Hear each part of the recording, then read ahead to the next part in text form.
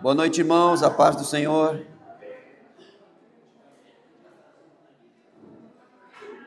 Gálatas capítulo 5. É, verso 20, 21. Alguém pode ler? 5, 21.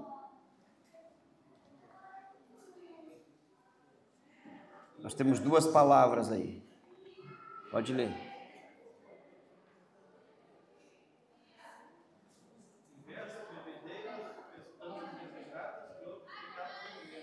Ok.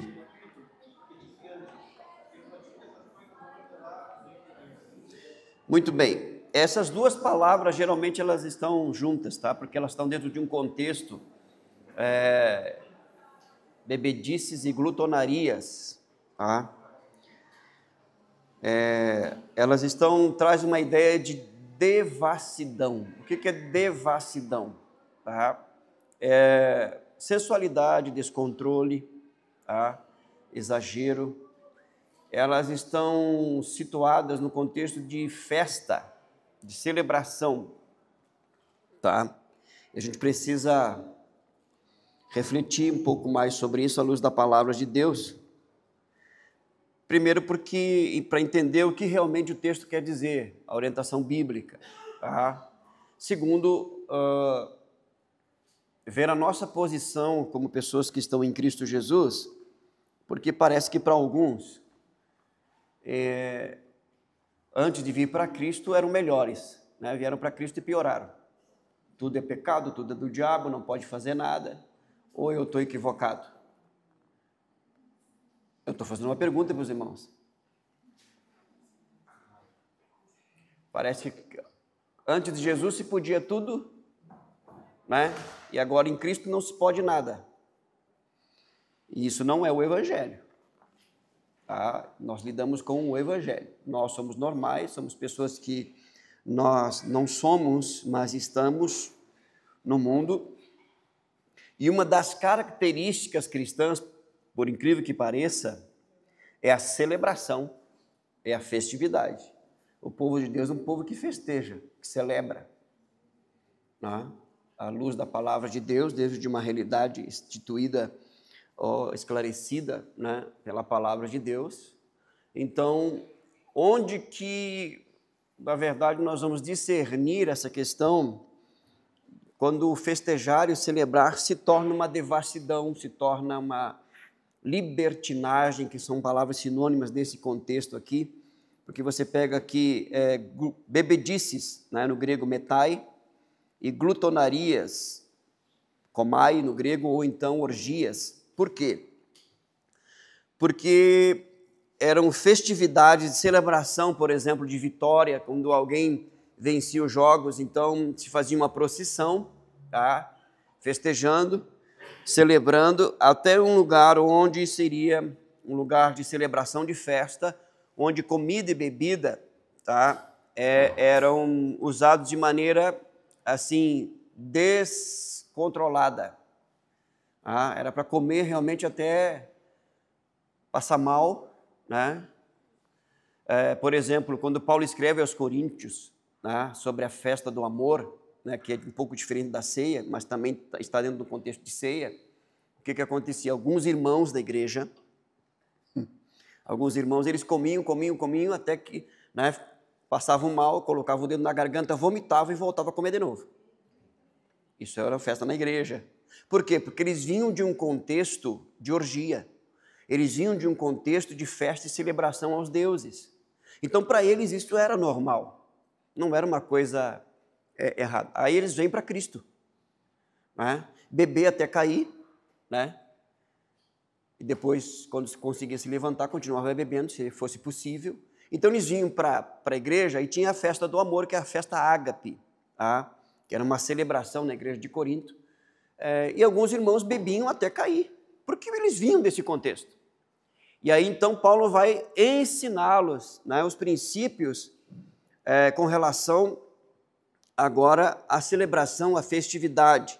Tá? Mas nesses contextos aí de bebedice e glutonaria, aqui a ideia tá, é de orgias, porque não havia, não era só bebida e, e só alimento, alimento, é, é, alimentação exagerada, tá?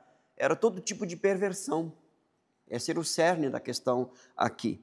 Tá? E por que, que Paulo está escrevendo à igreja? Porque a grande maioria dos, das pessoas que estavam na igreja, elas vinham desse contexto. Então, para elas, isso era normal, entendeu? Beber, comer até passar mal e se entregar a todo tipo de devassidão era totalmente normal. Então, Paulo vai dizer que isso tudo era obra da carne, é obra da carne, tá? Esse total descontrole. E é interessante porque geralmente essas duas palavras, e elas só aparecem aqui em Gálatas, né, juntas, mas elas são semelhantes, tá? É, porque elas vão ocorrer somente agora em Romanos capítulo 13, verso 13. É, alguém leia para nós Romanos 13, 13. Romanos capítulo 13, verso 13. Andemos dignamente como em pleno dia, não em orgias, não em bebedices, não em impudícias e dissoluções, não em contendas e ciúmes. Percebam aí que aí tem mais uma, uma lista que Paulo aponta aí, né? que ele está falando sobre justamente sobre nós discernirmos o tempo, tá? É, e nós devemos estar atentos a essa realidade. É, eu vou começar a ler do verso 11, que diz assim: é, E digo isso a vocês que conhecem o tempo, já é, é hora de despertar do sono, porque a nossa salvação está agora mais perto de quando o, prim, o princípio cremos. A salvação aqui é a vinda de Cristo, tá? Vai alta noite e o dia vem chegando. Essa noite aqui é esse tempo, é esta era. O dia é o dia da salvação. Você sabe que quanto é, mais se aproxima do amanhecer, é a hora mais escura, né? Então é isso que Paulo está dizendo.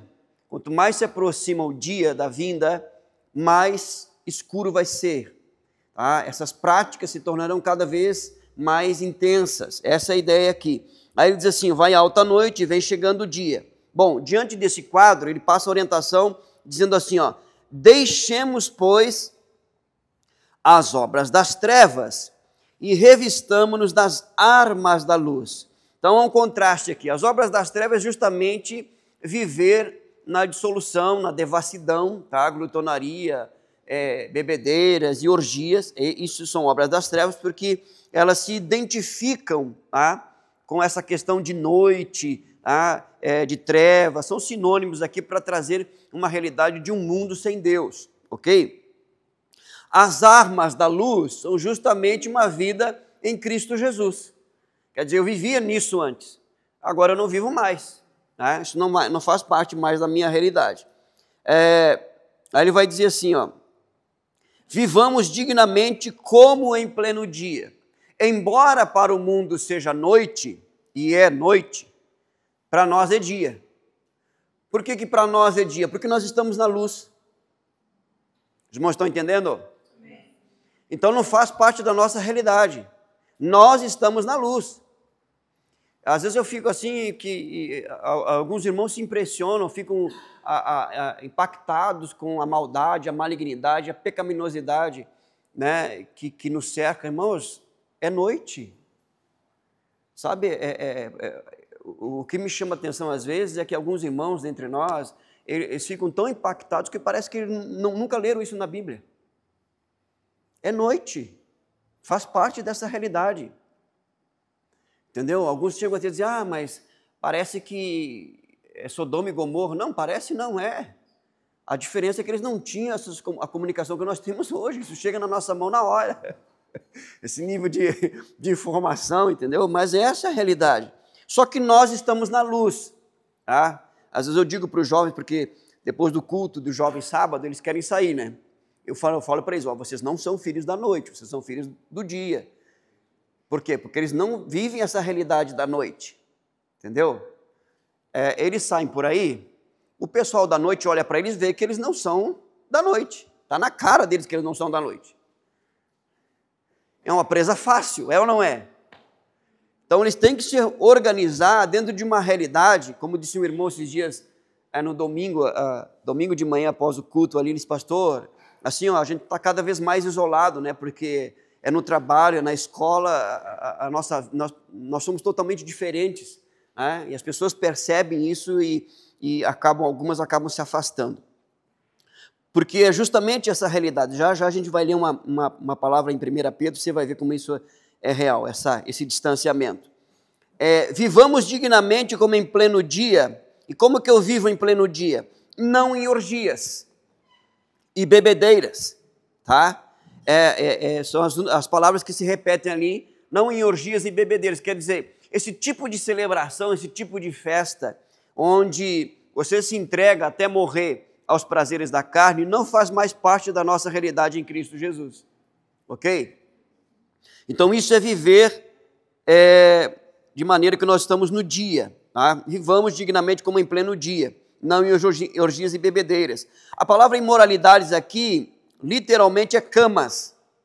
Tá? Porque está dentro desse contexto de orgias e bebedeiras. Tá? E também aqui libertinagem, tá? e depois ali discórdias e, e, e ciúmes. Né? São as áreas aí que, que trabalham também juntas aí. Agora vamos lá para 1 Pedro.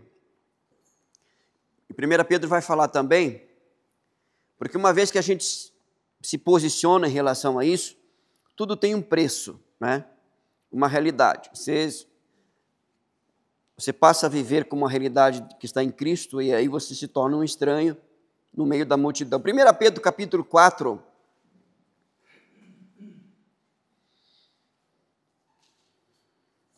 diz assim, ó, a partir do verso 3. Eu vou ler pra, e vocês acompanhem. 1 Pedro, capítulo 4, verso 3. Porque basta que no passado vocês tenham feito a vontade dos gentios, tendo andado em práticas libertinas, desejos carnais, bebedeiras, orgias, borracheiras e em detestáveis idolatrias.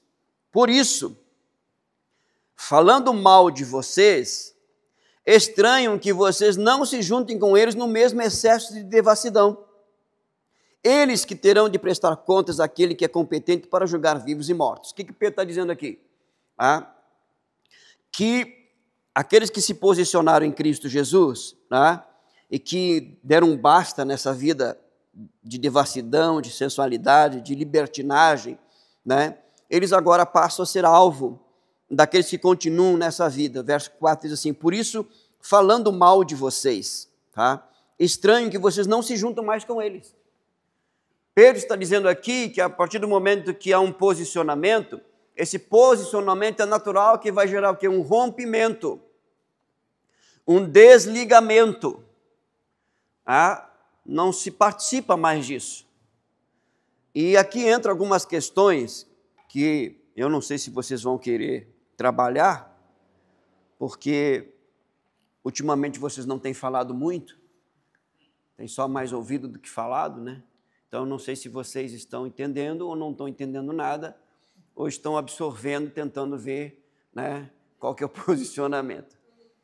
Algumas pessoas dizem assim, dentre nós, é, mas nós temos que dar o nosso testemunho, né?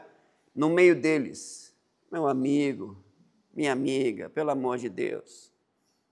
Alguns até citam Jesus, sabe, de uma fora do contexto. Uma vez eu ouvi alguém dizer, ah, mas Jesus, ele andava com os pecadores. Aonde está isso na Bíblia?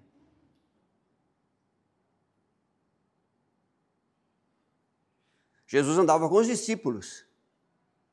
Ele conversava com os pecadores e evangelizava, mas ele não andava com os pecadores. Então, eu sei que é um desafio constante para nós, porque ao mesmo tempo nós somos luz e sal. Tá? Há um tempo atrás, um camarada aí que estava criticando os crentes aí, porque ele estava cantando e participando de festas dessas aqui, né?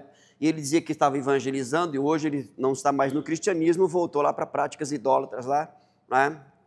Cara muito famoso que você até canta as músicas dele. Ele disse: nós temos que ser sal fora do saleiro. Sabe, alguns argumentos para justificar, entendeu? A falta de posicionamento. Então deve haver um equilíbrio aqui? Deve.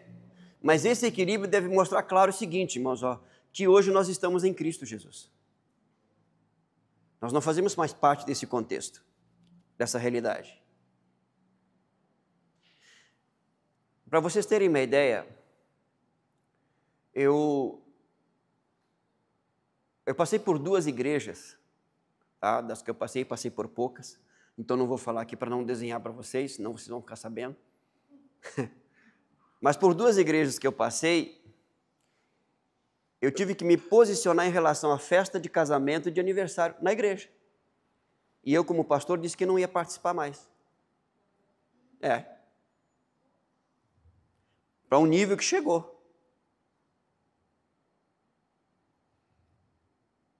Ah, porque nós vamos convidar nossos familiares, não são cristãos, e você está entendendo ou não? Estou desenhando aqui. Aí vocês estão só me olhando. Mas essa é uma realidade que todos nós enfrentamos.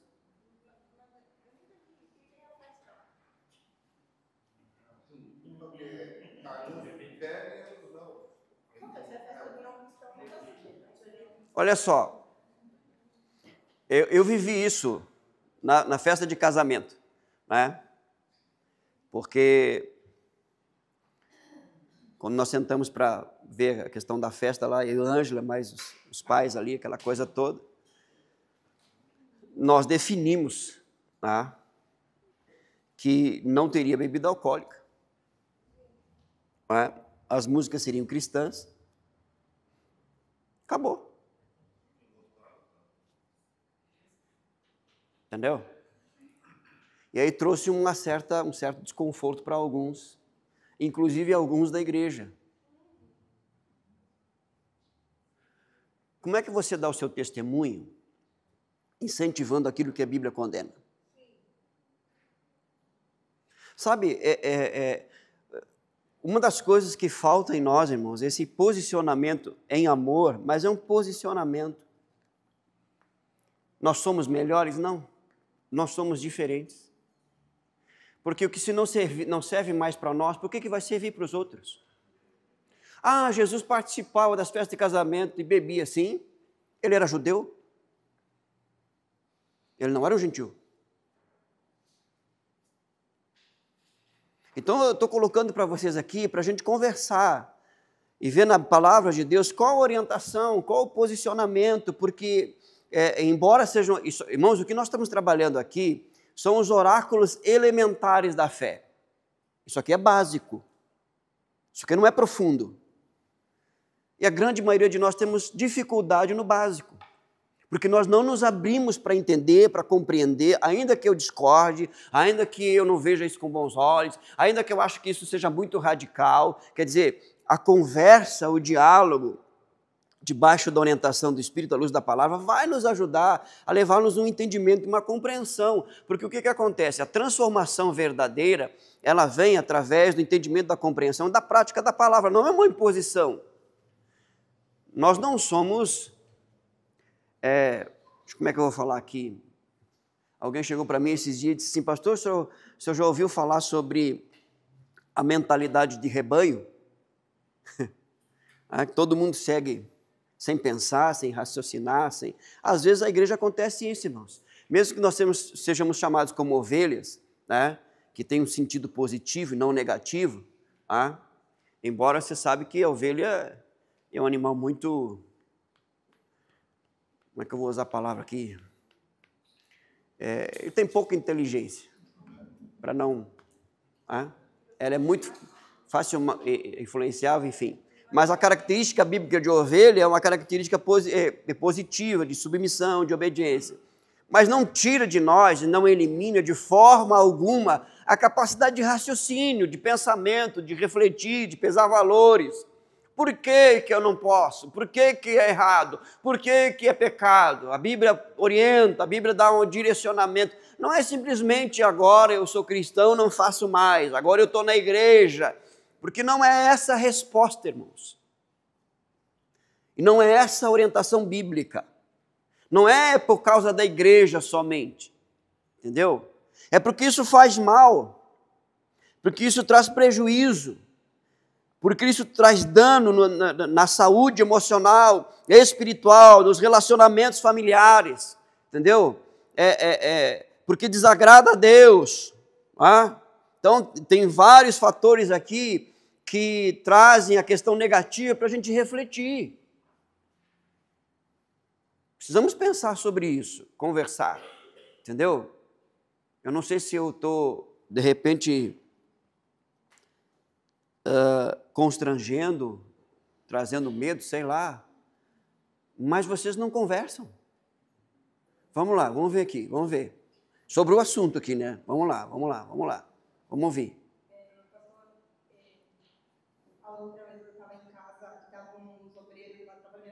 Sim. E aí eu chegava em casa e o cara tava lá com música desqualificada, qualquer tipo de música, e eu parei e eu prendei. E meu querido, traz o fone de ouvido para escutar suas músicas, você não vai escutar essas músicas aqui, porque dentro da minha casa eu escuto música cristã ou tu não escuta. Porque eu sou cristã e aqui a base é Cristo. Sim. Eu fui assim, tchau. E, e aí tá, e aí eu botava música cristã quando eu tava lá, né? Ah, essas músicas, eu digo, bueno, provavelmente tu não gosta, mas aqui é cristão.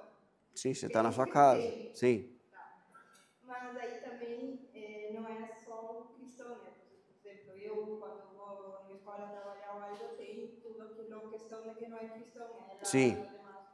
Então, cada vez que eu tenho que levar uma música ou algo que eu faço, trato de fazer, é buscar músicas que não. Como, que não refiram aquilo que Sim. o cristão faz. Mesmo que não sejam músicas cristãs. Exatamente. Sim, até porque você não está na sua casa. Exatamente. Ué, ué. Tá. E aí, aí a, o coisa é, e as músicas, tudo que é tradicional, patriota e tudo demais, também, tranquilo. Sim. Tranquilo. É isso aí. Sim. tem muitas músicas tradicionais, sei lá, é, que dançam junto, e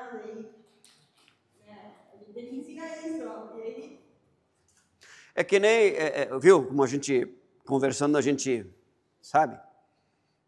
Você vai fazer uma aula de violão, de teclado. O professor não é cristão.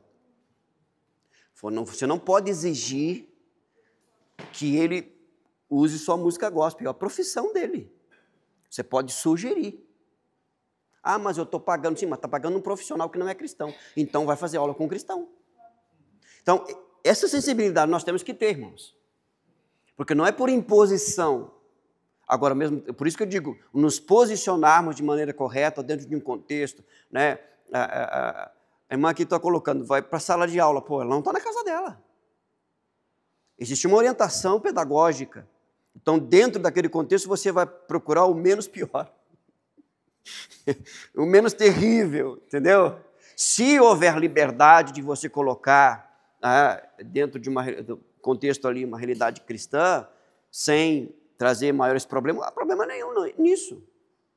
Entendeu? Não sei se os irmãos estão entendendo aqui. Mas você deixa claro o seu posicionamento. Ah, é- é- é- a palavra de Deus diz que nós temos que responder com mansidão a respeito da fé que nós temos.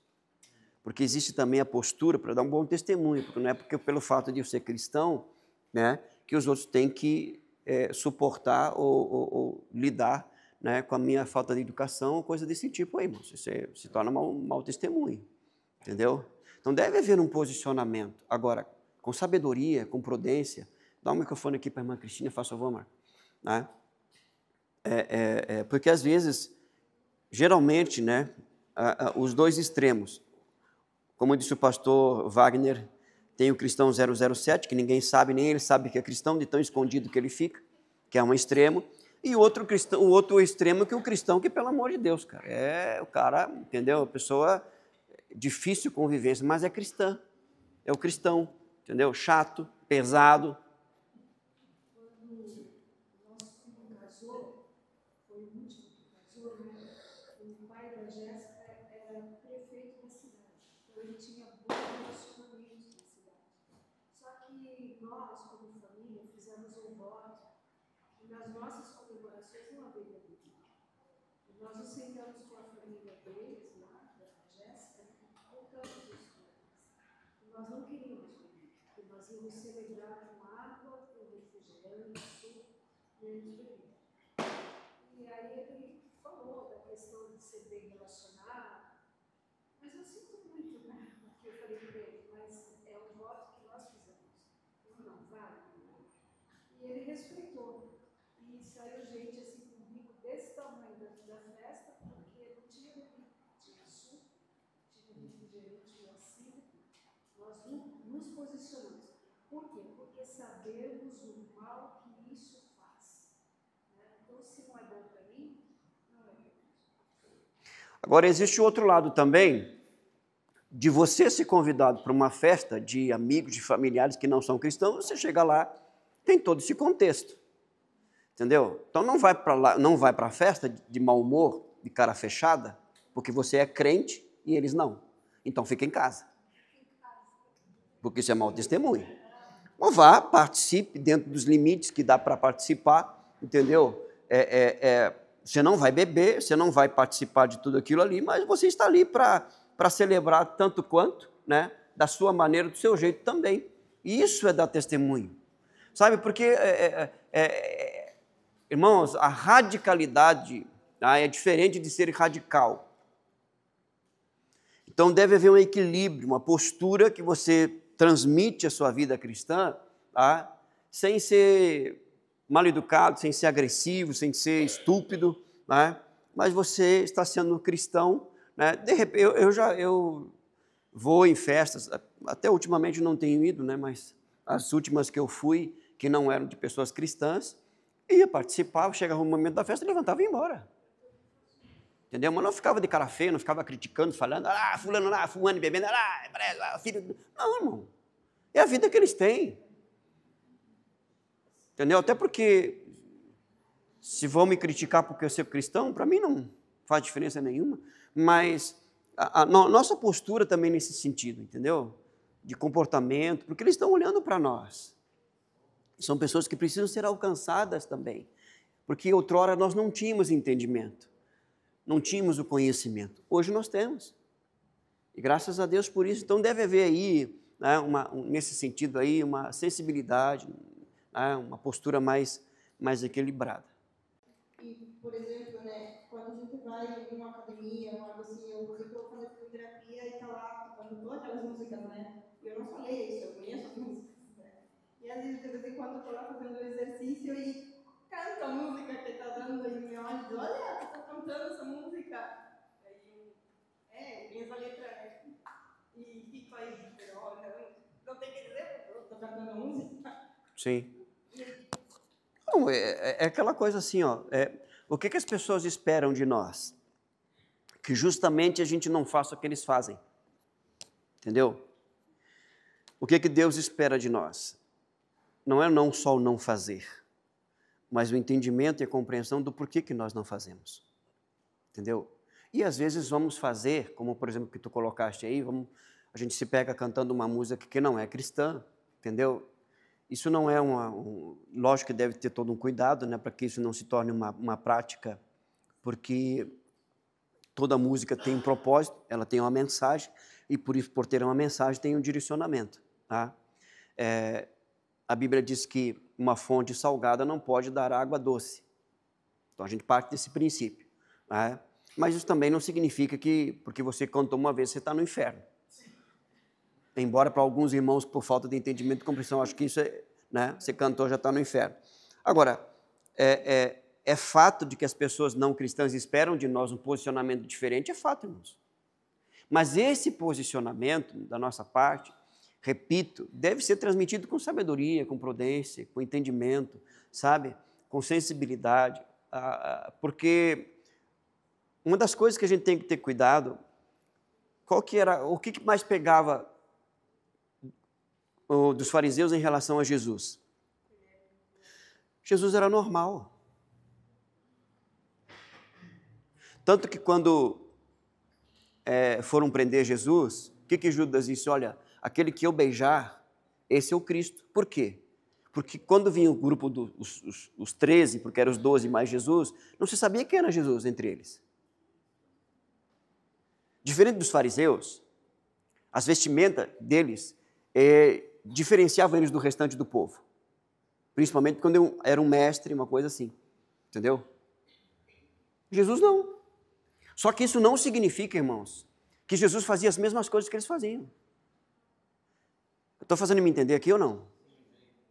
Então, é tanto na vestimenta como na postura. No, vida normal, gente, vida normal. Mas de uma normalidade tá? que as pessoas veem que você é igual a elas nesse aspecto. Mas os seus valores, os seus princípios de vida são diferentes.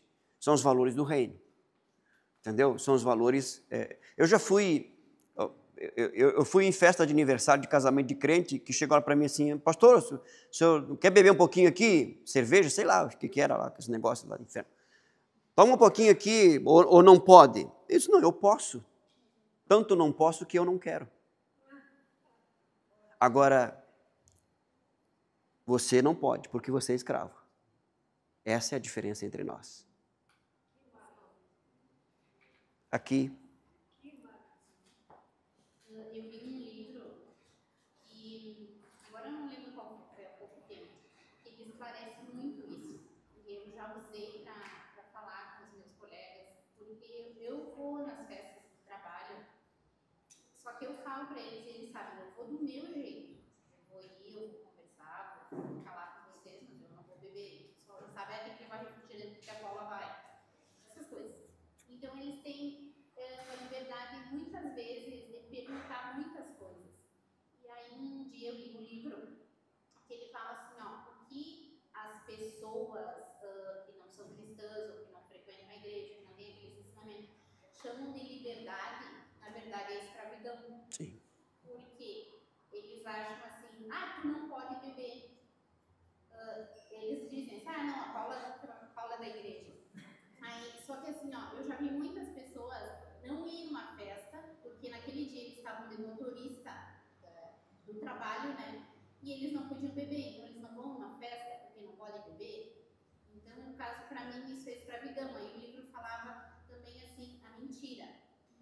Ah, tu é que são livres para mentir. Só que aí tu mente, aí para tu sustentar aquela mentira, tu tem que falar outra, Sim. e aquilo se torna uma escravidão. Sim. E tantas outras coisas, né? Então, muitas vezes, né, o que as pessoas chamam de liberdade, na verdade, não é. Na exatamente. Verdade, é escravidão. escravidão. Liberdade é o que Cristo nos Sim, dá. Né? exatamente, exatamente. É, é, então, fica claro aqui, irmãos, o seguinte, uma coisa, nós, né, cristãos, né, celebrarmos uma festa de casamento, de aniversário, né, seja lá o que for, dentro dos princípios e dos valores que nós cremos. E aí nós temos a oportunidade de dar o nosso testemunho, né, trazendo esses valores para essa celebração. Você entende isso? Outra coisa, a gente ir participar de festas, de aniversário, de casamento, seja lá o que for, de pessoas que não são cristãs. Nós temos que ir? Temos. Devemos ir. Devemos participar. Estar lá. A não ser que seja algo, né? Você sabe quando a, a, a gente tem esse discernimento, irmãos, assim, tem essa sabedoria, você vai para uma festa, né? é, é, como eu já falei, já fui em festa de casamento, de aniversário, pessoas que não, não cristãs, e chega o momento da festa, vamos embora. Vamos embora que agora a temperatura subiu demais e aí né, não vai dar certo, vamos embora. Entendeu? Porque uma coisa assim, irmãos, uma, uma coisa que eu tenho como princípio para mim, assim, uma, uma, vez uma situação, aconteceu uma situação, nós estávamos numa festa, eu disse, Angela, vamos embora, porque uma coisa é mexer comigo. Mexer comigo, me desrespeitar, para mim, então, tranquilo, a pessoa é mundana, ela não é cristã, tranquilo. Agora, se se mexer contigo aí a coisa é diferente, porque eu tenho responsabilidade sobre, sobre ti, eu sei separar as coisas. Então eu não vou deixar de ser cristão se alguém mexer contigo e eu, eu, eu reagir à altura. Muito pelo contrário. Então vamos embora para não criar situação e vamos embora. Pronto. Entendeu? Eu falo isso porque algumas pessoas acham que o fato de você ser cristão, você não tem que se posicionar às vezes de uma, uma maneira mais. Entendeu? É, você não vai ver na Bíblia, por exemplo, Jesus se defendendo mas ele defende outros. Você está entendendo ou não? Dá a segunda face na questão de perseguição, não tira o texto do, fora do contexto. Essa é a ideia. Por isso, tá, não, e a tua pergunta é, é, ela é verdadeira, ela é legítima. Entendeu? É lógico que a nossa postura, entendeu? É por isso que o que a Bíblia diz? Foge da aparência do mal.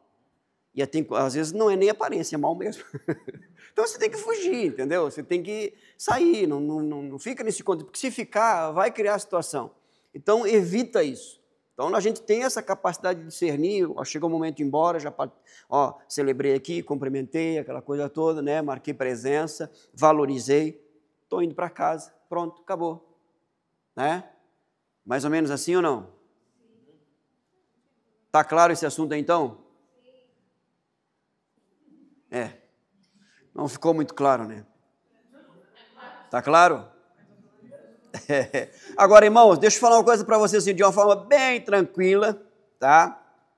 Uma coisa é nós falarmos aqui, esse é o ideal, outra coisa é trazer para a prática. E eu estou falando entre nós.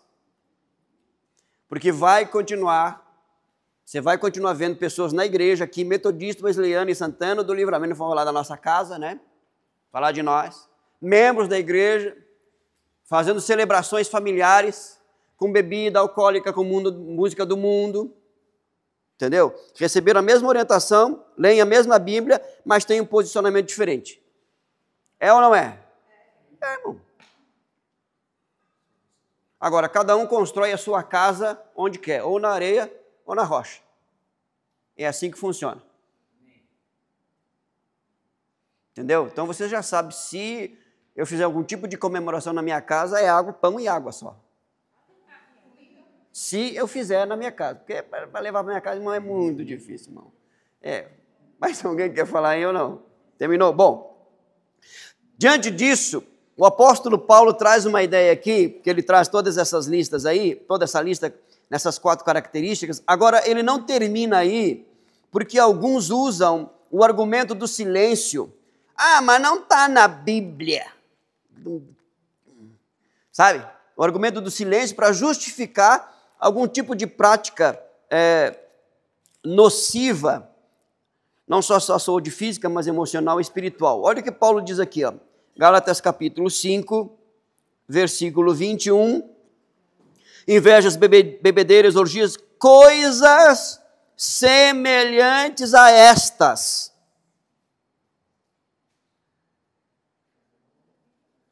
Me dê um exemplo de coisas semelhantes, é porque ele fala aqui só de bebedeira e, e, e, e glutonaria, mas nessas celebrações, que mais se usa? Que não está aqui.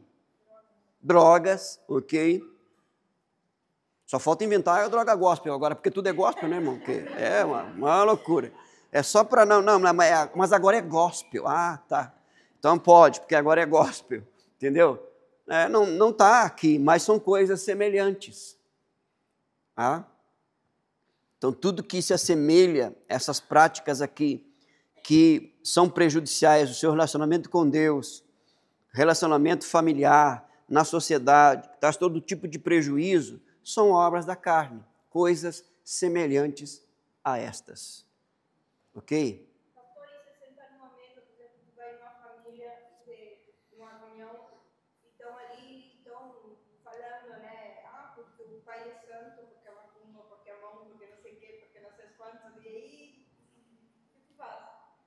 Fica quieto, é.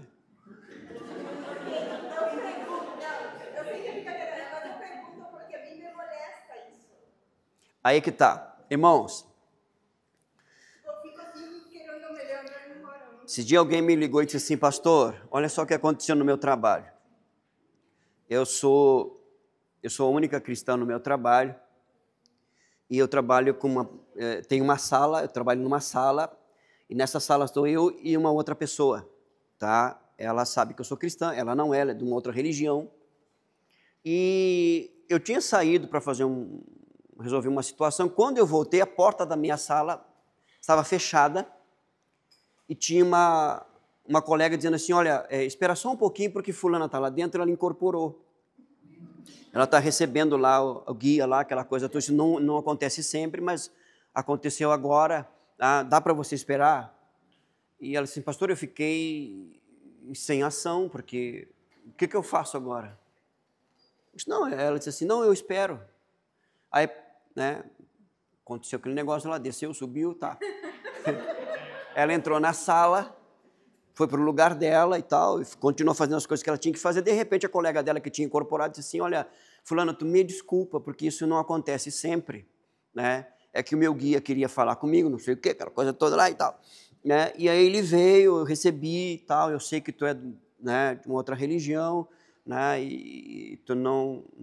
Tu escuta tuas músicas aí na tua mesa, tu lê a tua Bíblia aí, nunca impôs nada para nós, né? Só que foi de repente, assim, eu não esperava que isso fosse acontecer. Tu me desculpa, elas não, fica tranquila, é, não tem problema nenhum, né? É, se caso né, acontecer de novo, eu, não, eu saio, não tem problema. Ela me disse assim, pastor, só que eu fiquei, eu me senti mal. Eu me senti mal porque, primeiro, porque o ambiente ficou ruim. Segundo, porque eu não sabia o que falar. Mas não tem que falar nada, irmão. Entendeu? Não tem que falar nada. Você está num ambiente de trabalho. Ah, é, é, é, isso é normal dentro de uma realidade.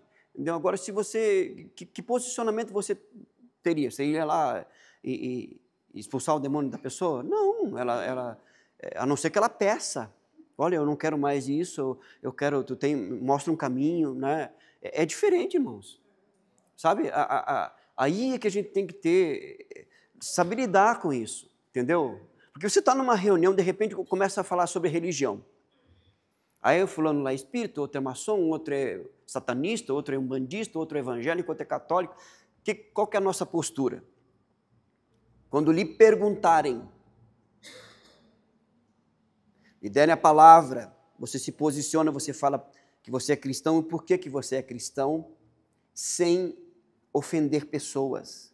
Não feche a porta. Fale que você é cristã, demonstrando Cristo para as pessoas. As pessoas não precisam de religião, elas precisam de Jesus.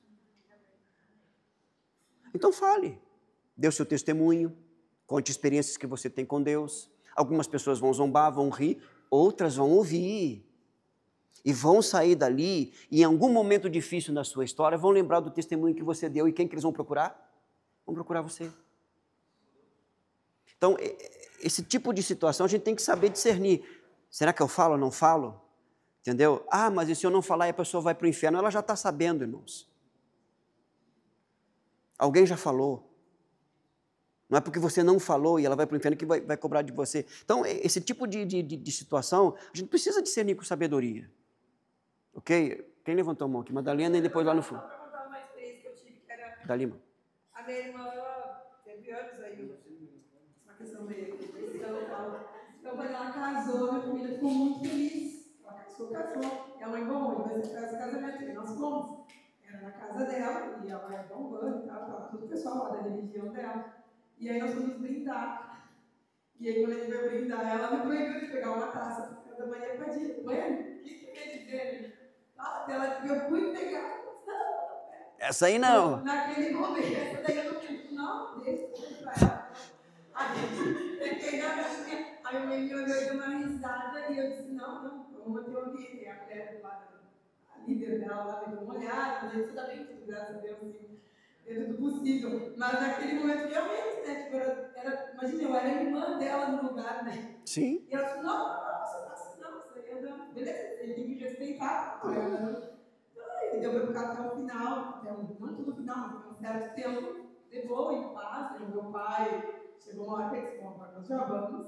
E aí, eu isso um pouco tempo atrás, né? que a minha mãe estava muito feliz. Nossa, estou, ficamos felizes. Sim. Em ela ter casado e sair de uma certa escravidão que ela vivia antes. Sim, né? sim. E tem essa outra piora, mas, mas graças a Deus, diante de tudo, ela, quando dá alguma coisa, ela me liga, pede oração, mas ela sai, como você falou, ele sabe, na hora que. Claro que sabe. Pode talvez a gente dissesse, mas você está pensando, não vai me dar um copo, tem que me dar pro, pro demônio lá dela. Sim.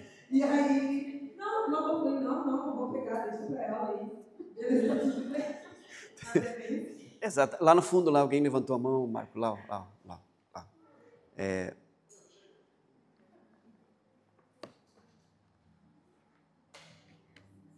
Na verdade, é mais um, um comentário, né? Que a colega falou das escolas.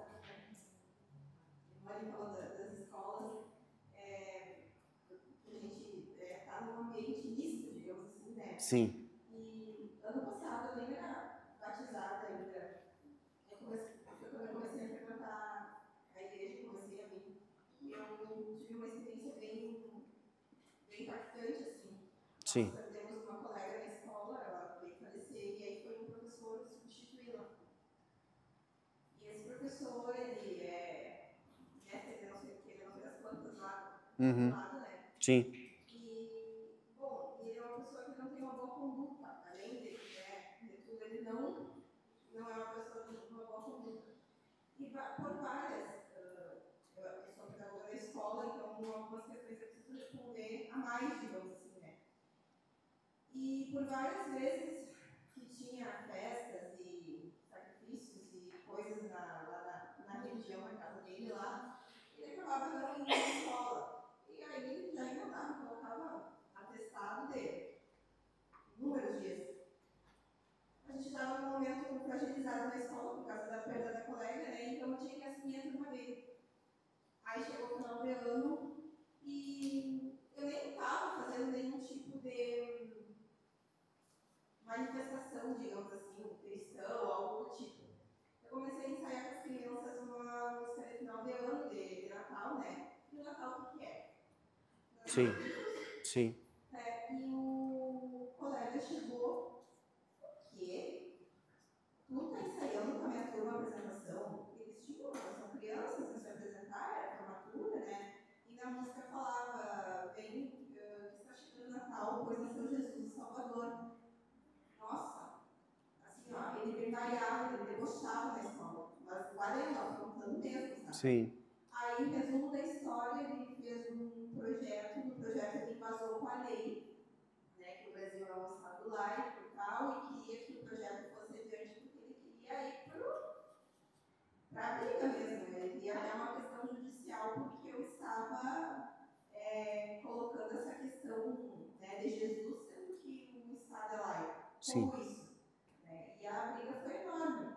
Aí até que por fim ele entregou o projeto para mim mesmo, porque era para mim que ele tinha que entregar. Só que como era uma situação além, né, eu tive que chamar a diretora e entregar para ela, aí a diretora não levou em consideração também pela conduta dele, né? Sim.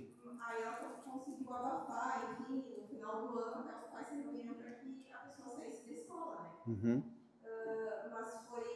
E aí teve um dia que ele, ele realmente, assim, ele, ele me debochou, ele me afrontou, ele, ele, ele disse que ele ia me atacar. Né? E que e na noite, na, no dia que aconteceu isso na noite, assim, eu, eu lembro, eu, eu não me lembro mais, graças a Deus, que eu me lembro assim, detalhes dos sonhos. Mas eu tive um sonho assim, ó, assustador, que eu me acordei, meu esposo me acordou porque ele disse que eu estava gritando na cama. E a única coisa que eu dizia para ele, vai lá pegar nossa filha, vai lá ver se ela Hum. vem. Porque foi Horrível. horrível, Uhum. horrível. Né? E tudo isso dentro do ambiente de trabalho. E nada assim, nada, nada eu afrontava ele, até porque, como eu sempre falei, né? Para te entrar numa. Eu penso dessa forma, a gente, para te entrar numa discussão dessa, você tem que pegar uma agulha. Sim. Né? Você tem que ter Sim, conhecimento. Sim. Que, né, ele Exato. tinha. Eu estava começando a frequentar a igreja, nem batizada eu era. Sim. O que, que eu ia responder para ele? Sim. A minha conduta foi ficar quieta e tentar argumentar em questão do trabalho que realmente não era uma afronta. Sim. Né? Mas ele se sentiu extremamente afrontado a ponto de me atacar, né? espiritualmente, digamos assim. Sim. Né? Porque ele, ele declarou. Foi. Uhum. Foi uma, uma experiência bem. bem. É, diante disso, é, é, eu tenho uma preocupação, eu estava conversando com alguém esses dias, também que vive essa realidade do trabalho das escolas aí, e, e eu, na verdade, estou alienado disso tudo, né, porque eu não vivo essa realidade.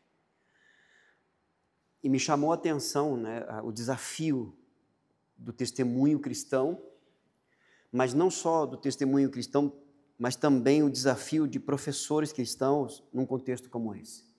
Tá? Uma outra preocupação que eu trago no meu coração é com os nossos jovens nas escolas e nas faculdades. tá?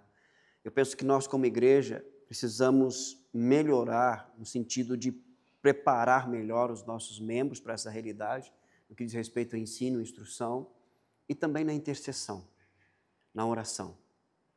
Que esse é o caminho para a gente realmente enfrentar toda essa situação. Porque, irmãos, é um campo de batalha. E eu fico assim, ó, eu, eu particularmente fico é, é, impressionado com o desafio que vocês vivem aí fora. Eu não vivo essa realidade. Como vocês vivem. Né?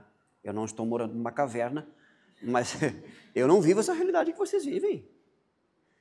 Mas eu preciso, de alguma forma, né, estar com vocês no sentido de, de caminhar e viver essa realidade de instrução, de ensino, de oração, de intercessão, porque é uma confrontação direta com o mundo das trevas. Não tenho que negar, não, não, não existe outra realidade, irmãos. E uma outra coisa que me preocupa é que a grande maioria dos cristãos não vem dessa forma.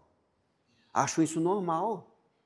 É normal dentro de uma realidade de mundo sem Deus, porém, não é normal nós não ajudarmos, não participarmos, porque uma vez que eu não vivo essa realidade, não significa que eu tenho que ficar alheio, eu tenho que participar de alguma forma, entendeu? A, a, a orar, interceder, estar junto, ouvir, né? é, é, é, é ouvir o compartilhamento das pessoas que estão vivendo essa realidade, porque imagina só, é, nós temos aqui outros tantos irmãos e irmãs que fazem parte desse contexto e que vão para casa depois de uma afronta, depois de uma confrontação direta com o mundo das trevas, né, são retalhados né, no, no seu sono. Quer dizer, nós precisamos, é, como igreja, despertar um pouco mais para essa realidade. Né? Eu não vivo essa realidade, mas de alguma forma eu tenho que participar disso. Né? É, é, então eu coloco aqui que nos ajude nesse sentido de em oração, para que o Senhor nos dê um direcionamento. Irmãos, os nossos jovens eles se reúnem aqui no sábado daqui duas horas, duas horas, duas, duas horas e meia, vem no domingo, a maioria não vem no meio de semana por causa da, escola faculdade. E eles estão constantemente sendo ministrados, né? E estão sendo desafiados em valores totalmente contrários do reino. Né? É, é, a Silvia lá, depois o Jefferson aqui, depois não sei quem mais, lá, lá no fundo lá, Marcos. Então a gente precisa, é, de alguma forma, né, uma vez conhecer, saber que esses irmãos e irmãs estão nas escolas, estão nas faculdades, né? A irmã Silvia, por exemplo, Cabezudo, ela trabalha na Secretaria de Educação, se não me falta memória, né? O contexto ali é terrível, irmãos. Entendeu? Ela diz que ela vai para casa, às vezes, assim, ó, arrasada, com vontade de largar tudo, mas ela lembra que ela ali é luz, ela é sal, precisa de uma cobertura de, de, de aconselhamento, de acompanhamento, de intercessão. Vamos a Silvia lá depois do Jefferson aqui.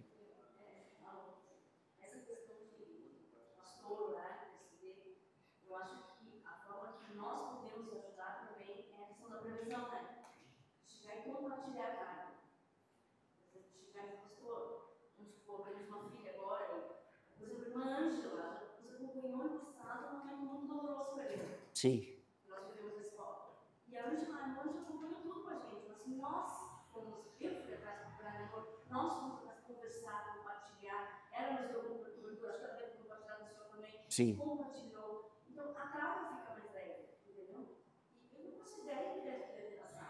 Eu falo isso no canto do lugar. Sim. Nós vamos procurar alguém que para compartilhar a carga. Ajuda também a liderança a fazer parte, fazer uma conquista ainda terminou um ano muito difícil nela, mas nós já estávamos sozinhos. Eu sabia que a irmã orava, eu sabia que o pastor orava. E assim nós podemos ajudar, é compartilhando a carga, entregando e pedindo ajuda. Ok, aqui Marcos, aqui o Jefferson aqui. Uh, eu creio que assim, ó, é, no culto, na, na oração de terça, acho que dá para colocar como um dos pedidos né, que devem ser sempre colocado em oração, irmã Marta, irmão Marcos, sobre orar pelas escolas, pelas faculdades, entendeu? Os nossos jovens, professores, pessoal que trabalha com a educação, porque é um desafio constante, irmãos. Pastor, eu gostaria de fazer uma ressalva com relação à questão dos nossos jovens, tanto na faculdade quanto no trabalho secular, ou em qualquer outra área. Esse ensinamento posicionamento deles lá fora, no mundo secular, é o reflexo do que eles recebem dos pais em casa. Então, eu quero dizer para os irmãos o seguinte, que aquilo que nós ensinamos para os nossos filhos, os princípios bíblicos que nós, como pais, devemos ensinar aos nossos filhos, eles levarão para a vida toda. Por que, que está acontecendo esse tipo de, de fato em que muitos jovens que, estão dentro da igreja, estão dentro da igreja. E quando saem da faculdade, e quando vão para um trabalho secular, se desconvertem. Por quê? Porque não estão recebendo os princípios bíblicos que deveriam receber em casa. Porque muitos pais são omissos com relação a isso. Deixam que a igreja dê esse tratamento, esse ensinamento para eles. Isso não é Bíblia. A Bíblia diz o seguinte: ensina a criança como? No caminho que deve andar. E ainda quando for velho, ele vai se lembrar. Então vejo assim, ó, por que nós temos esses, é, essas mazelas, né? Com os jovens, Aqui, ó. muitos cristãos que estão dentro da igreja, mas vão para a faculdade, vão para o trabalho secular e se deixam enganar. Falha dos pais. Falha dos pais. Nós, muitas vezes, erramos com isso. E aí depois queremos culpar a sociedade, culpar a faculdade, culpar o trabalho. Não, não, não. O problema nasceu em casa, com os pais. A palavra de Deus diz que nós, homens, somos o sacerdote do lar. Essa obrigação de ensinar os filhos é do homem, não é da mulher. Você, homem que está aqui nessa noite, abra os seus olhos para isso. Deus está dizendo que essa é a sua função.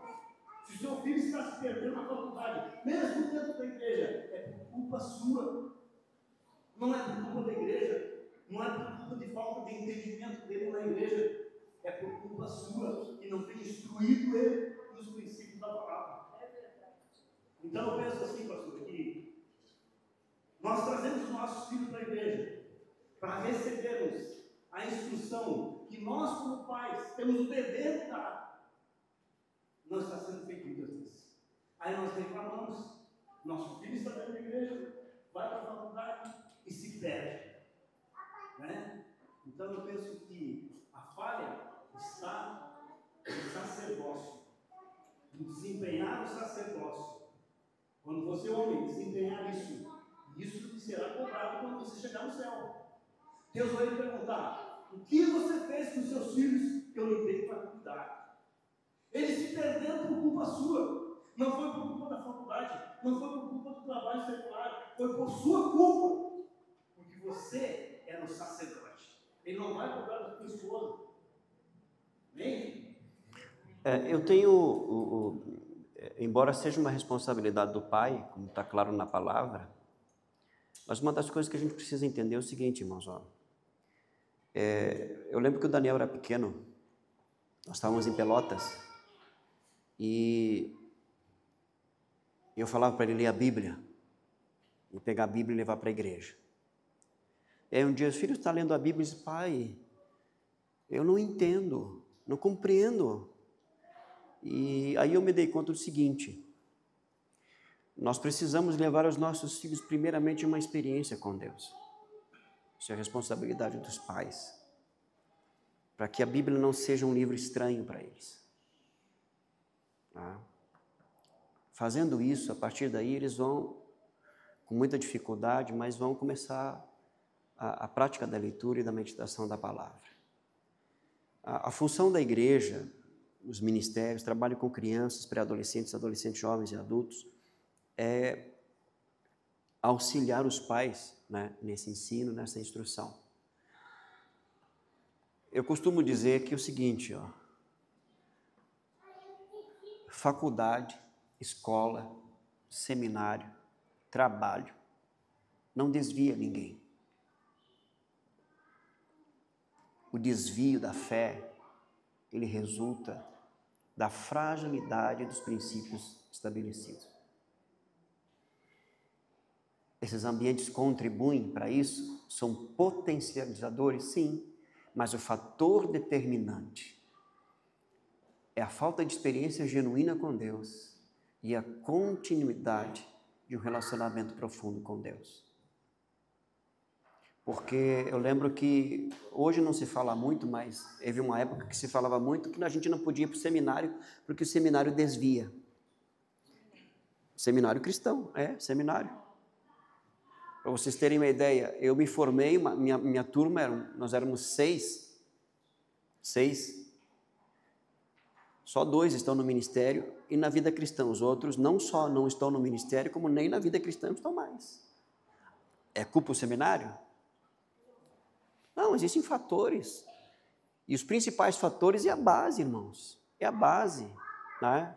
É, nós, pais, temos responsabilidade. A igreja está aí para auxiliar. E nós precisamos levar os nossos filhos a essa experiência genuína. Né? E, aqui depois a gente termina, nosso tempo já está tá terminando.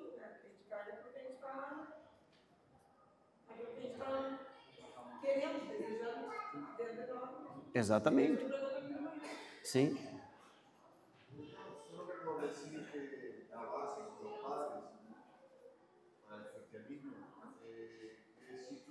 caso, tu eres la base, foi, você cristiano, foi por mim. Ella, Dios por medio de ella me trajo el cristianismo a conocer a Dios separado de la vez. Entonces, tanto como el Padre también fue es capaz y es digno de traer a sus hijos a, a, a conocer a Dios, como un hijo también trae Sim, um filho cristão, exato. Filho, exatamente. É, é, mas precisamos é, rever isso, irmãos, com seriedade, tá? voltar às bases, o fundamento, e orar para que o Espírito de Deus sopre de uma forma que promova essa experiência de regeneração, né? É, batismo com o Espírito Santo, para que se mantenha realmente a fé todo e qualquer lugar. Né? Nós estamos aí no mundo, mas nós não estamos à mercê dessa realidade mundana porque nós estamos guardados pelo Senhor. Agora, viver essa realidade de estar guardado pelo Senhor requer de nós uma vida cristã autêntica, verdadeira. Ok? Nosso tempo terminou. Aqui, quer falar? Aqui. Tá. Tá ok. Então, assim, irmãos, terminamos aqui as obras da carne, nós vamos iniciar o fruto do Espírito, tá? Para depois voltar para a revista. A gente vai voltar para a revista. Em 2027 a gente volta para a revista. Mas já começa a ler sobre o fruto do Espírito, tá? Lembrando que o fruto do Espírito é um só, não são os frutos, o fruto do Espírito. Ele, ele está em nós quando nós nascemos de novo. Agora, ele só vai se manifestar a partir do nosso exercício. Tá?